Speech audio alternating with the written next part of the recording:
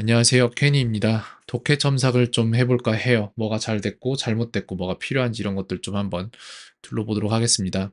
그래서 여기서 보면은 research shows that people who work have two calendars라고 되어 있는데 이 같은 경우에 이제 research가 설문이라고 했는데 설문은 이제 조사를 했어야 나오는 거기 때문에 제 생각엔 연구가 더 낫지 않을까 하고 이렇게 생각을 해봐요. 그래서 연구는 보여준다 that 이하를 people who work 일하는 사람들은 동산역이네요.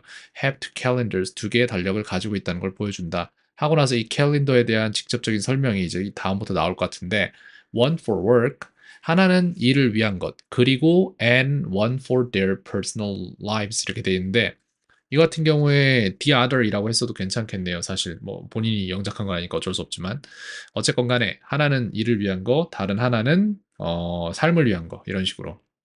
그 다음에 although it may seem sensible, sensible 해 보일지라도 라고 말하고 있는데 그거는 현명해 보인다 라는 얘기예요. 근데 그렇지 않다라는 얘기가 뒤에 나오겠죠. although가 들어갔으니까 역접입니다. having two separate calendars 어, 두 개의 달력을 갖는 것은 for work 일을 위한 그리고 삶을 위한 두 개의 달력을 갖는 것은 lead to 어떠한 결과를 만들어낼 수 있다.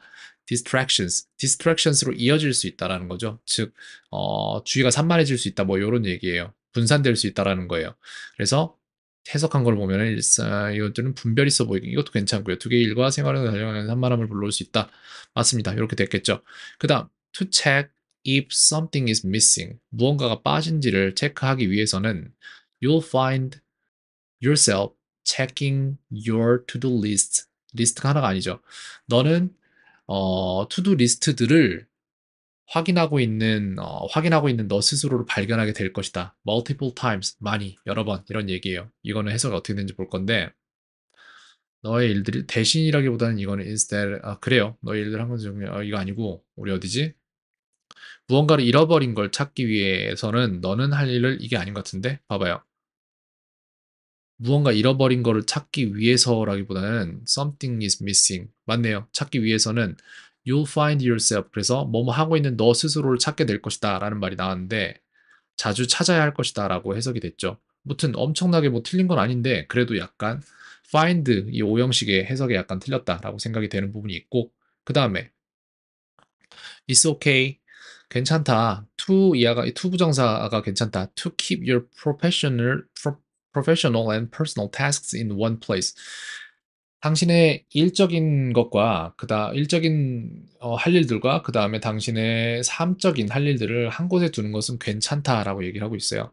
그 다음에 this will give you a good idea of how time is divided between work and home. 그래서 집과 어, 일터에서 자신의 시간이 어떻게 나눠지는지를 어, 잘 알게 해줄 것이다. give a good idea 이런 식으로 나왔죠. 근데 이거는 해석을 어떻게 했을까?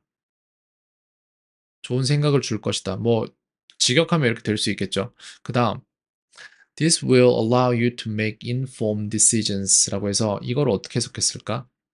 이것은 너가 많은 정보를 해서 어떤 지 조중을 결정하게 해줄 것이다. allow you to make informed decisions 라고 되어 있는데 informed decision을 만들도록 해줄 것이다 라는 얘기잖아요. 그래서 informed decision 같은 경우에는 음, 이게 이게 해석을 하면은 informed decision, inform이 뭐뭐를 알려주다라는 얘기예요. 근데 그거의 과거 분사가 되니까 알려진이라고 되잖아요. 그래서 이걸 알려진 결정이라고 해석할 것인가? 그러면은 그것이 아니라 이렇게 분별력 있는 결정 뭐 이런 식으로 해석이 될 수 있어요. 그래서 그것은 너에게 분별력 있는 결정을 내리도록 어, 어떤 일들이 더 중요한지, 가장 중요한지에 대한 분별력 있는 결정을 내릴 수 있도록 해 줄 것이다. allow you. 어, 허락할 것이다인데 해 줄 것이다. 라고 해석을 하면 되겠어요. 그런 식으로 돼 있는데 결정하게 해 줄 것이다.